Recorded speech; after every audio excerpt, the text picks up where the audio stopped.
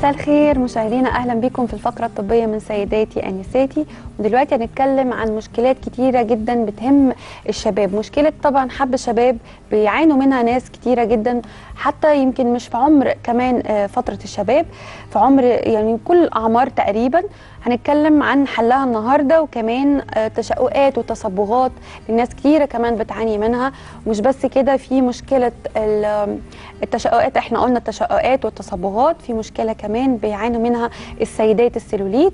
في علامات التمدد بعد الدايت أو بعد طبعا الحمل. ومشكلة كمان السيدات اللي بتعاني من مشكلة ترهل في عضلة المهبل بعد الولادة الطبيعية المتكررة. هنعرف كل حل المشاكل دي مع الدكتورة اللي مشرفانا في الاستوديو دكتورة حنان الحسيني المدير الطبي لمجموعة شركات All Beauty أهلا بيكي يا دكتور. أهلا بيكي يا ايناس إزيك يا حبيبتي؟ عاملة إيه؟ الحمد لله. وطبعا يعني الأحمر عليكي يجنن ربنا يخليكي يا ايناس والله. وزي القمر جنن. كالعادة. انت القمر على طول يا حبيبتي. دكتور خلينا نبتدي أو بداية نتكلم عن حب الشباب. تمام. آه، إحنا عايزين نعرف طبعا إزاي صابون الكالوليت معانا أول منتج بيحل مشكلة حب الشباب. بس بدايه عايزين نعرف حب الشباب أصلا بيجي من إيه. آه تمام. هو حب الشباب عبارة عن تراكم الخلايا الميتة اللي هي ال dead cells مع الدهون اللي هي. إفرازات الغدة الدهنية ال sebum glands آه ده بيقفل مسام البشرة وبيكون لي حب الشباب. حب الشباب أسبابه كتيرة جدا. آه من أهم أو أهم سبب لتكوين حب الشباب هو السبب الهرموني اللي هو تغيرات في الهرمونات في جسم. الإنسان بيلجأ من بي- بيؤدي إلى زيادة إفراز الغدة الدهنية للدهون فده بيقفل مسام البشرة وبيكون لي حب الشباب آه، في عندنا سبب تاني لتكوين حب الشباب وهو السبب البكتيري. آه، وجود بعض البكتيريا آه، اللي هي بتسبب آه، حب الشباب اللي هو ال acne. كمان بنلاقي في أسباب اللي هي العوامل الخارجية إن إن الواحدة بتحط مثلا مستحضرات تجميل ميك اب وتفضل فترة طويلة فده بيقفل مسام البشرة بيكون لي حب الشباب.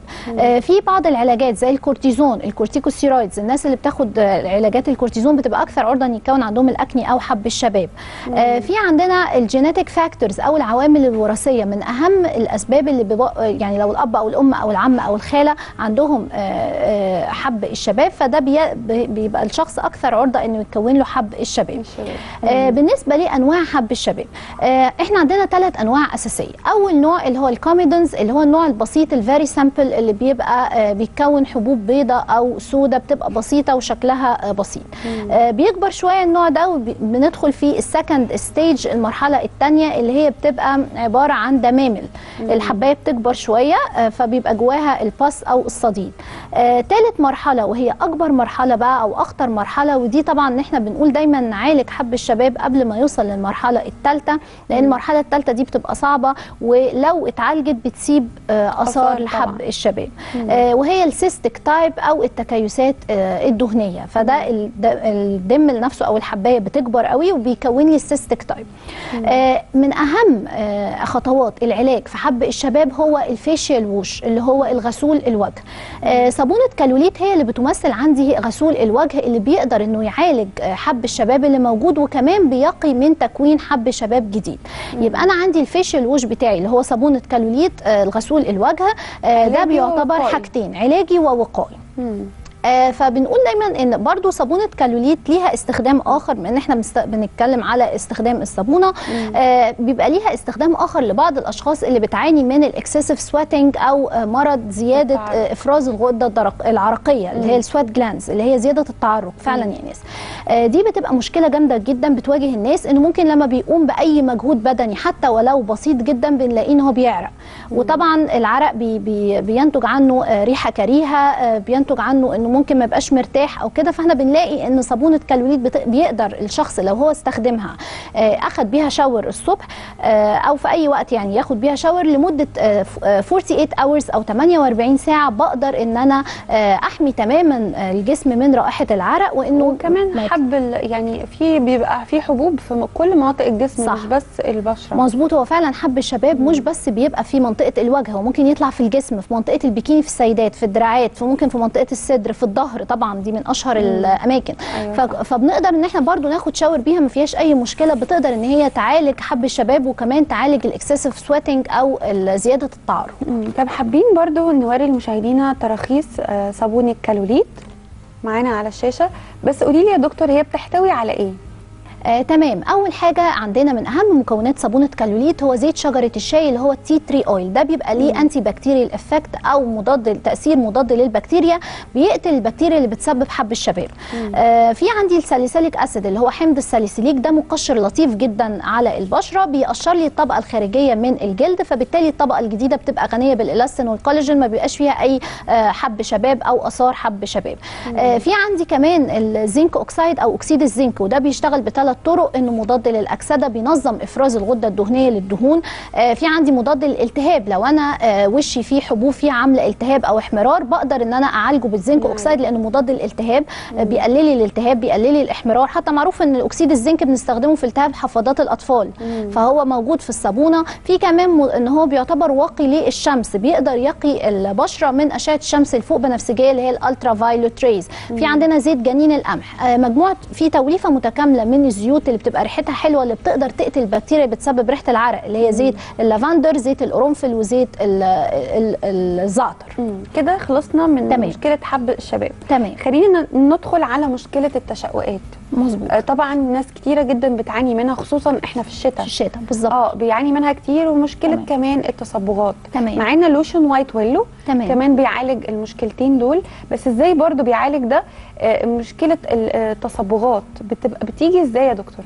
آه تمام. هو عادة إحنا دايما بنقول آه يا إيناس إن الصابونة بتستخدم لعلاج حب الشباب وعندنا بعدها بيليه لوشن وايت ويلو لعلاج التصبغات. إحنا عارفين ساعات حب الشباب حتى اتعالج بيسيب آه آثار اللي هو لو. كان من من النوع الثالث اللي إحنا بنقول عليه اللي هو ال cystic type. بيسيب آثار حب الشباب بتعمل لون. فإحنا دايما بنتبعه العلاج. يعني بيت- بيتبع باللوشن وايت ويلو بعد استخدام الصابونة. على أساس إنه بيقدر إنه يعالج أي تصبغات جلدية أي بقع دكنه آه، هالات سودة تحت العين ساعات بيبقى فيه ال- ال- النمش الكلف ال- أي أي مشكلة منطقة كاملة على بعضها عايزة أفتحها زي آه، ال underarms أو منطقة اللي هي تحت الابط في. السيدات أو منطقة البيكيني في السيدات. آه، فبيبقى في أماكن معينة بتبقى كلها عايزة أفتحها عايزة أعمل توحيد للون البشرة لأنه في ساعات نقط غامقة ساعات بيبقى هنا مثلا غامق آه، هنا غامق ساعات هنا. الهالات برضو. بالظبط. فإحنا بنقول إن لوشن وايت ويلو آه، بيجيب نتيجة هايلة جدا في علاج آه، أي تصبغات جلدية في توحيد لون البشرة. آه، هو بيقدر يعمل كده عن طريق مكوناته ومكوناته طبيعية 100% ما فيهوش أي قلق. لو في ناس مثلا بتبقى مقلقة من الحاجات اللي بتبقى آه، صعبة مثلا في إنه بيبقى دواء أو medical أو داخل فيه أي additives أو كده ممكن تعمل لهم حساسية. إحنا بنقول إن لوشن وايت ويلو هو مكوناته طبيعية 100% آه، أول مكون من مكوناته هو ال licorice extract ده مكون طبيعي 100% آه، بيشتغل على مادة الميلانين. إحنا عارفين إن أي بقع دكنة أو تصبغات جلدية بنتيجة لزيادة إفراز الجلد للميلانين. آه، بيقدر لوشن وايت ويلو بمكوناته اللي هو ال licorice extract وحمض الكوجيك بيقدروا إنه يرجعوا مستوى الميلانين لمستواه الطبيعي. فبالتالي أنا بفتح كده لو مستوى الميلانين هو المسؤول عن إنه يعمل بقع دكنة أنا لما برجع آه، الميلانين لمستواه الطبيعي فبالتالي المنطقة بتفتح. بالتالي بقدر أوحد لون البشرة. البشرة. آه، فإحنا دايما بنقول إنه لوشن وايت ويلو هو طبيعي زي ما بنقول 100% ما فيهوش أي قلق. Hmm. كمان بنقول إنه آه، بيعالج زي ما انت قلتي ال- التشققات. لأنه ليه تأثير مرطب حلو جدا اللي هو ال emollient effect وده المسؤول عنه مجموعة من الزيوت توليفه متكاملة من الزيوت في اللوشن آه، هي زيت السيليكون زيت البارافين فيتامين E وفيتامين C وكمان زيت جنين القمح آه، تخيلي كل ده يا إيناس موجود في عبوة وايت ويلو. كل المنتج كل المكونات اللي إحنا قلناها موجودة في وايت ويلو اللي بيقدر إن هو يعالج زي ما قلنا التصبغات الجلدية والهالات السوداء النمش الكلف آه، أي منطقة غامقة عايزة أفتحها أو آه، كمان إنه بيدي تأثير مرطب للتشققات اللي هي بنسميها بال medical expression اللي هو ال skin cracks أي تشققات بقى سواء كان في الكوع أو في الركبة أو في الكعبين. طب خلينا برضو نشوف عشان نطمن السادة المشاهدين معانا التصاريح lotion White Willow. تمام. آه، حابين برضو نعرف آه، مشكلة تانية أو ننتقل لمشكلة تانية اللي هي السيلوليت. تمام.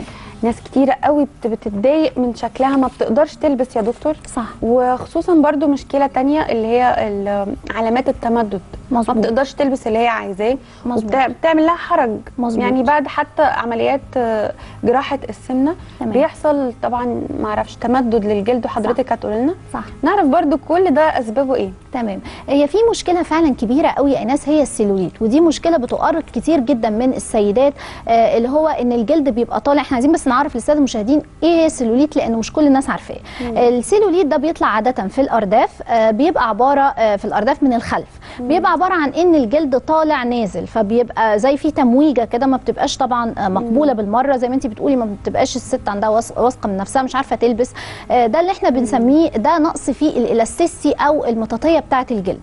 آه فدي بتبقى مشكلة جامدة جدا. آه فبنبتدي إن إحنا نحلها باستخدام كريم سكروفاد. كمان في مشكلة تانية بيحلها سكروفاد هي علامات التمدد الجلدي أو ال stretch marks. ال stretch marks أو علامات التمدد الجلدي هي الخطوط البيضاء اللي هي بتبقى في الأول أول ما بتتكون في بداية تكوينها بتبقى خطوط وردية اللون. آه بعد مرور آه فترة بتتحول للون الأبيض اللي هي بتبقى الخطوط البيضاء. طبعا بيبقى شكلها وحش جدا آه غير مقبول بالمرة. آه بتبقى أكتر الأماكن هي الدراعات آه ممكن في البطن في السيدات الحوامل طبعا. آه ممكن بنلاقيها في منطقة الصدر أو في منطقة الأرداف آه أو في الرجل من تحت. آه فهي الفكرة إن ال stretch marks أو السيلوليت هما مشكلتين, مشكلتين كبار جدا. آه. بيقدر سكروفات إن هو يقدر يحلهم عن طريق إنه آه بيدي الجلد المطاطية اللازمة إنه يقدر يعالج هذه الأعراض أو هذه الأمراض زي ما بنقول هو مرض طبعا لأن إيه هو أصلاً؟ حاجة غير مقبولة. آه. كريم سك- سكرو فات بيتكون من إيه؟ تمام. آه إحنا عندنا دلوقتي إن ال stretch marks أو السيلوليت بقى فيه نقص في ال elasticity نقص في ال elastin وال collagen. فأنا سكروفات بي عنده غني جدا بال elastin وال collagen اللي نقصه كان مسبب لي مشكلة ال stretch marks وال cellulite آه في الاس- ال elastin وال collagen pure اللي هو بتوصل نسبته ل 80% أو 85% في كمان حاجة تانية في سكروفات آه آه مهمة قوي هي ال allantoin. دي مادة ال allantoin مادة بتقدر إن هي تقشر الطبقة الخارجية من الجلد فالطبقة الجديدة بتبقى غنية جدا بال elastin وال collagen. كمان بيقدر آه، سكروفات في ال grapefruit seed extract أو مستخلص بذرة العنب. آه ودي بتبقى مادة بتقدر إن هي تقلل ال enzymes اللي بتكسر ال elastin وال collagen اللي موجود أصلا في الجلد. فبالتالي أنا بقدر أزود ال elastin وال collagen اللي أنا محتاجاه عشان أعالج الأعراض بتاعتي سواء كان stretch marks أو سيلوليت بثلاث طرق. أول طريقة هي ال elastin وال collagen ال pure اللي موجود عندي في في المنتج. تاني طريقة هي ال grapefruit seed extract اللي بيقلل ال enzymes اللي بتزود ال- اللي بتكسر ال elastin وال collagen موجود في الجلد. فبالتالي أنا بعلي ال elastin وال collagen موجود أصلا في الجلد. آه وثالث آه مكون عندي هو ال allantoin ودي مادة بتقدر إن هي تقشر تماما الطبقة الخارجية من الجلد. فالطبقة الجديدة بتبقى غنية جدا بال elastin وال collagen آه نتائجه هايلة جدا جدا في العلاج السيلوليت آه نتائجه هايلة جدا برضو في علاج ال stretch marks بتوصل نسبتها طبعا الخطوط البيضاء بتوصل نسبتها ل 80% أو 85% آه لو هي في بداية التكوين اللي هي خطوط حمراء بتوصل نتيجة العلاج آه، نسبة العلاج ل 100% طب بنشوف حتى بعد قد إيه؟ يعني نقدر نقول لو نقول السيلوليت بعد قد إيه نشوف نتيجة وبعد كمان ال stretch mark تمام. إحنا بنستخدم السكروفاد مرة الصبح ومرة بالليل على المنطقة المصابة سواء كانت stretch marks أو سيلوليت آه، في خلال أسبوع من الاستخدام بلاحظ بتحسن ملحوظ جدا في خلال ثلاث أسابيع بنوصل للنتيجة المطلوبة اللي هو أنا ما بقاش محتاجة إن أستخدم الكريم ده تاني مم. طب خلينا برضو نشوف نطمن آه، مشاهدينا ونحط طبعا تراخيص آه، كريم سكرو فات هيبقى معانا دلوقتي حالا على الشاشة تمام. وزي ما إحنا قلنا دايما بنقول ممنوع نحط حاجة على جسمنا يا جماعة إلا ما نكون. متأكدين منها طبعا. وخلينا طبعا نشوف مشكلة تانية. تمام. مشكلة بعد السيدات اللي بيولدوا كتير قوي بالولادة الطبيعية بيحصل لهم طبعا ترهل في عضلة المهبل. تمام. حابين نعرف غسول النيرينا تمام. إزاي كمان بيحل المشكلة دي ومشكلة الالتهابات والفطريات. وكمان الرائحة الكريهة. مظبوط. نعرف إحنا هو ثلاثة في واحد. تمام ثلاثة نعرف بقى إزاي بيحل المش... المشاكل تمام. دي. آه هو منتج نيرينا هو المنتج الوحيد يا إيناس اللي موجود في ال market بيعالج مشكلة ترهل العضلة التناسلية في الجهاز التناسلي الأنثوي أو ترهل عضلة المهبل. آه الأول عايزين نعرف إيه ال definition أو إيه تع... يعني إيه هي أعراض آه عضلة المهبل لما بيحصل لها ترهل. آه ترهل عضلة المهبل دي بتبقى نتيجة ل آه، زي... آه، كثرة الولادة الطبيعية لما بتبقى السيدة خلفت مرة واثنين وثلاثة فبيحصل ترهل في عضلة المهبل. آه، بت- بتلجأ طبعا لعيادات الدكاترة علشان تقدر إن هي تعالج هذه المشكلة. آه، سواء كان مثلا آه، بجلسات ليزر آه، أو بعمليات الربط. ودي طبعا بتبقى مشكلة كبيرة جدا لأن هي بتبقى مكلفة من الناحية المادية آه، مكلفة من الناحية ال- في بعض الناس بيبقى عندهم يعني ال- الجنرال اناثيزيا أو المخدر العام بيبقى عندهم مشكلة منه. في حساسية مثلا. كمان بنلاقي آه فترة خوف إن أنت تدخلي عملية دي في حد ذاتها خوف. جراحية دي بالظبط. كمان ليها رعب. أيوه بالظبط. آه في كمان فت... بتحتاج فترة نقاهة. في بعض السيدات بعد العملية طبعا مش بتقدر تقوم تروح كبير. الشغل أو بالظبط. فبنلاقي إن منتج أو غسول نايرينا بيقدر يدي نفس نتيجة العملية الجراحية بالظبط بس في آم، وهي قاعدة في البيت. طب بعد قد إيه بقى؟ نقدر نشوف إن هي حست بفرق؟ هي من شهر لثلاث شهور. مم. يعني في ناس من شهر على حسب طبعا عدد مرات الولادة الطبيعية يعني ما- بتفرق لو كانت مرة أو مرتين أو ثلاثة على حسب. بس هو مني بعد ثلاث شهور من المواظبة في الاستخدام أنا خلاص بتبقى زي نتيجة العملية بالظبط. مم. طب إحنا قلنا ثلاثة في واحد. تمام. ال- ال- التاني المشكلة التانية برضو اللي بيعالجها الالتهابات البكتيريا الفطريات. تمام. كمان دي مشكلة بتواجه حتى الأنسات مش بس السيدات. مظبوط. هو فعلا عندنا مشكلة إن البكتيريا بتهاجم منطقة المهبل فبتسبب التهابات أو إحمرار أو حكه آه، طبعا دي بتبقى مشكلة جامدة جدا عند بعض السيدات. آه، مش بتسبب لها طبعا يعني بتسبب لها عدم راحة بتبقى قلقانة بتبقى مش عارفة تعمل إيه. فبنقول إن نايرينا بيقدر يخلصها تماما من الأعراض اللي هي الالتهابات أو الإحمرار أو الحكة عن طريق آه، مادة ال triclosan اللي موجودة في الغسول. مادة ال triclosan هي antibacterial antifungal broad spectrum اللي هي مضادة للبكتيريا مضادة للفطريات آه، واسعة المدى. آه، بتشتغل على wide range مجموعة كبيرة من البكتيريا والفطريات اللي بتسبب الأعراض الغير مرغوب فيها اللي هي زي ما قلنا الالتهابات أو الحكه أو الإحمرار. آه، زي الكانديدا زي ال trichomonas بتقدر تعالج كل الكلام ده وده بيبقى التأثير بتاعه. الناس بيبقى on the spot أول ما بتستخدمه بعد ما بتستخدمه بالظبط في يوم أو في خلال يومين بنلاقي النتيجة آه، المطلوبة إنه خلاص ما بقاش عندها التهابات أو احمرار أو أي مشكلة. آه، تالت آه، برضو حاجة بيعملها غسول نايرينا إحنا قلنا كده اتنين. التالتة بقى التالتة. هي إنه بيقضي تماما على البكتيريا اللي بتسبب الرائحة الكريهة والإفرازات الغير مرغوب فيها. آه، عندنا مستخلص الورد والنعناع اللي هو ال rose extract وال menthol. المادتين دول بيقدروا إن هم يقتلوا البكتيريا آه، اللي بتسبب الرائحة الكريهة أو الإفرازات الغير مرغوب فيها. آه، وكمان في مادة تانية مهمة جدا في النيرينا هو ال chamomile. ال chamomile دي مادة بتحافظ على درجة الرطوبة آه، أو ال hydration بتاعة ال vagina إن هي تبقى من 3.8 ل 4.5 اللي هي البي اتش أو درجة القلوية. فأنا لو أنا حافظت على درجة القلوية أو ال pH بتاعة ال vagina لل range ده من 3 و8 ما تقلش عن 3 و8 وما تزيدش عن 4.5 أنا كده بحصن منطقة المهبل من مهاجمة أي بكتيريا أو فطريات ممكن تسبب لي أي مشاكل. فبنلاقي إن نايرينا هو زي ما بنقول علاجي علاجي. وكمان وقائي. آه وكمان وقايه تمام. بس مثلا لو قلنا مشكلة البكتيريا وال- والفطريات بن- بنشوف النتيجة في ساعتها. تمام آه طب يعني كمان المشكلة الرائحة الكريهة كمان نفس ال on the spot على. طول في خلال يومين آه آه، لكن موضوع شد ترهل عضله المهبل نتيجة لوجود ال aloe vera extract اللي هو خلاصة ال- ال aloe vera المعالج الطبي ده بيفضل من شهر زي ما قلنا لثلاث شهور بس بي بيحمينا بياخد وقت آه بس هي نفس نتيجة بالظبط العملية الجراحية فبالتالي أنا بوفر في الفلوس بوفر في الوقت وبيديني نفس النتيجة وأنا قاعدة في البيت مم. طب خلينا نشوف كمان التراخيص غسول. نيرينا معانا حالا على الشاشة؟ تمام. وزي ما انتي قلتي قبل كده إنه لازم برضو نطمن كل الناس وكل كل المنتجات مرخصة. تمام. آه، طبعا حابين نعرف كمان العروض. آه كنتي حابة تقولي إن في عروض ب...